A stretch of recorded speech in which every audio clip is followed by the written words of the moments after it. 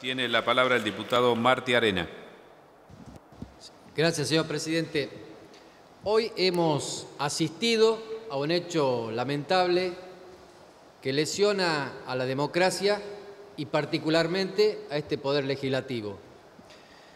Una vez más, el gobierno de Cambiemos demuestra un claro desprecio a la política y a las instituciones, porque no creen en la política, subordinan la política a la economía y a los intereses económicos sectoriales y empresariales.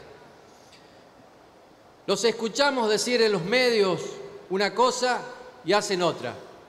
Los escuchamos decir que son democráticos, que buscan el consenso, que quieren debatir, que les preocupa los problemas de la gente y acá están. Miren esta imagen desolada, las bancas vacías. Y hay que considerar que son gobiernos que tienen que asumir la responsabilidad, que son los responsables de solucionar los problemas. Para eso el pueblo argentino los votó en su mayoría. A los problemas, señor presidente, hay que afrontarlos, nunca evadirlos.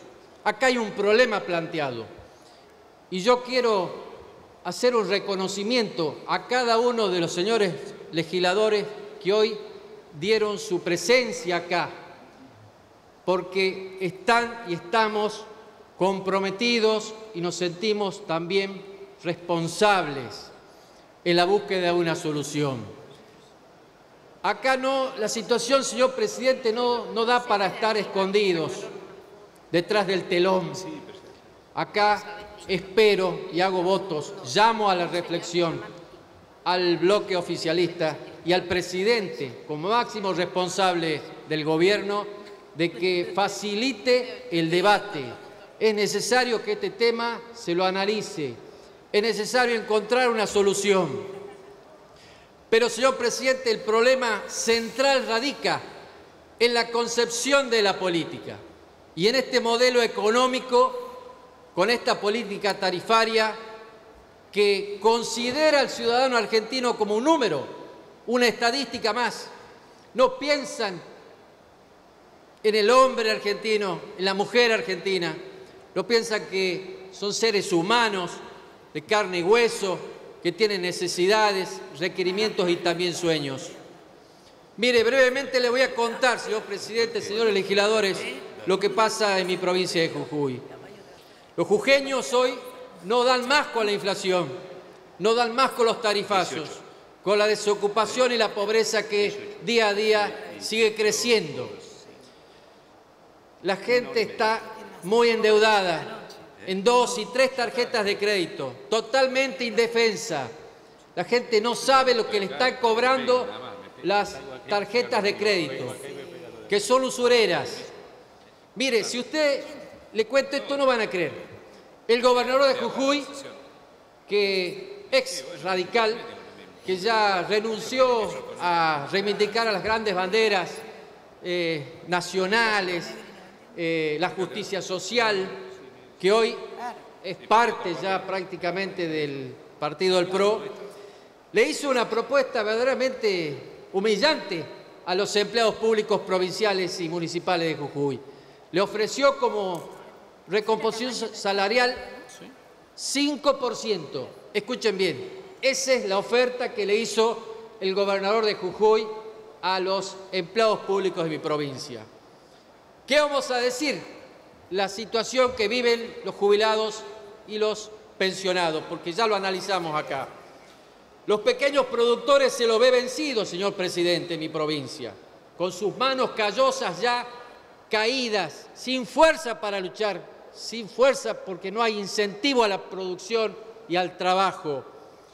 La inmensa cantidad de pobres e indigentes. Mi provincia encabeza el ranking nacional, cuando la media nacional es 31,4, en mi provincia alcanza el 35%, señor presidente.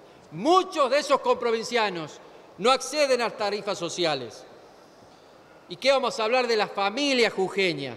que se desintegra día a día porque tanto el hombre o la mujer, el padre o la madre, tiene que emigrar de la provincia en busca de otros lares, en busca de un destino que hoy no encuentra en su provincia. Y se desarma el núcleo familiar, se desintegra la familia, los hijos terminan criados por sus abuelos o en la calle. ¿Y qué les puedo decir de los jóvenes de Jujuy? Cada vez hay más jóvenes que caen en la droga, en el alcohol, en el delito, porque hoy mi provincia es una desolación. Es parte de esta Argentina, de esta Argentina que no hay incentivo. El gobierno nacional está proponiendo a los argentinos no una vida, sino un calvario, señor presidente. Y acá es donde nosotros desde la política tenemos que volver a poner la política por encima de la economía. No coincidimos, tenemos profundas diferencias conceptuales y filosóficas con el gobierno que ha subalternizado a la política, a la economía, para beneficiar sectores que verdaderamente todos dos años se han enriquecido a costa del empobrecimiento del pueblo argentino y del pueblo jujeño. Muchas gracias. Gracias, señor diputado.